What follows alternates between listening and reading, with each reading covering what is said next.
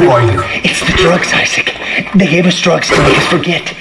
But it's all coming. I don't know what you're talking about. Why are you calling me? Isaac! Isaac, look out!